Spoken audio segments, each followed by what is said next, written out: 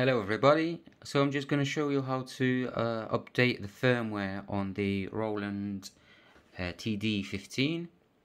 So first you get a USB 2, not USB 3, just USB 2 pen, USB stick, um, and then insert it at the back.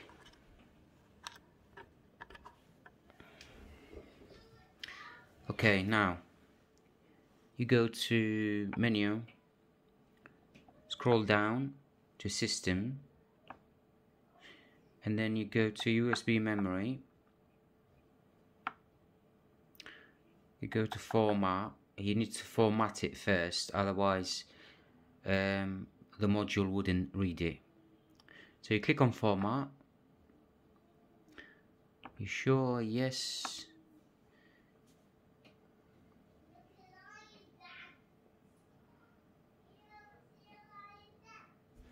Right, done.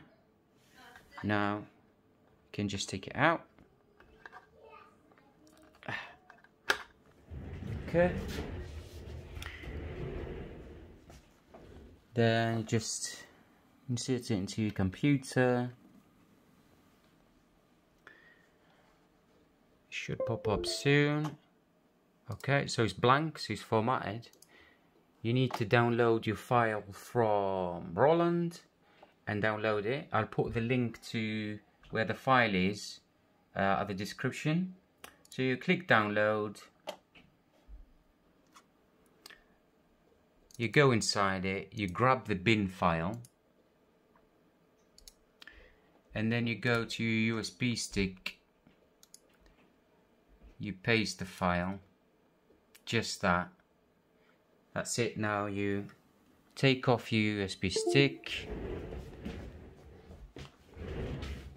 it's safe to remove it like that in Windows 10 so you plug it back there. Okay now what you need to do is you need to turn off the power.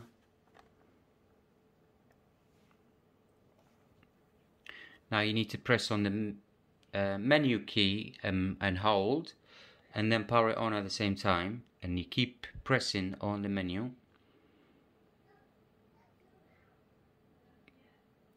So it's saying it's updating.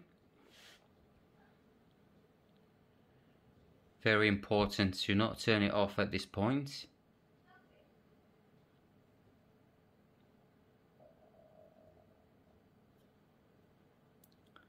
So it's just counting down.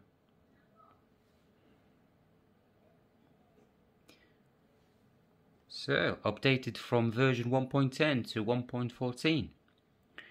That's it. Now you can just safely turn it off.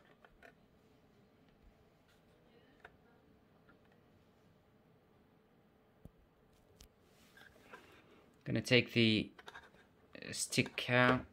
Don't need it anymore. Power on your unit. Funky jazz. Right guys, thank you very much for watching. See you later.